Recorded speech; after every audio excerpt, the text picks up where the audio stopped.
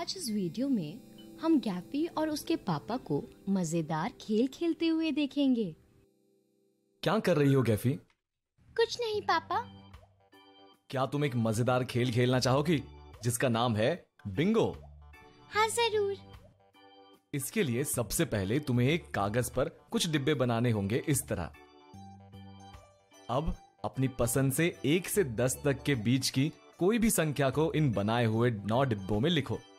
कुछ इस तरह पापा? बिल्कुल सही।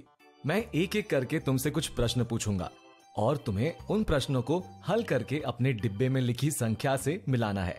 यदि वह संख्या तुम्हारे डिब्बे में लिखी है तो तुम्हें उस संख्या को काटना होगा। ठीक है पापा।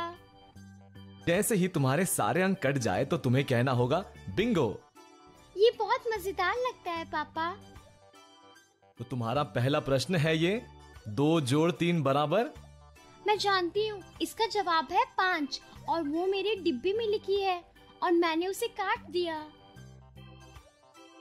अगला प्रश्न है आठ घटाव सात हुए। मैं जानती हूँ इसका जवाब है एक। तीन और पाँच के बीच का अंक? मिल गया चार। इसका जवाब तो नहीं है मेरी टिकट में। कोई बात नहीं अगला प्रश्न देखो। एक अंक की सबसे बड़ी संख्या। इसका जवाब है नौ। दो के बाद कौन सी संख्या आती है गैफी? इसका जवाब तीन है। अरे वाह गैफी तुम्हारे तो सारे अंक कट गए। मेरी एक लाइन के सारे अंक कट गए पापा। बिंगो। दोस्तों अब आप भी हमारी तरह ये बिंगो गेम खेले।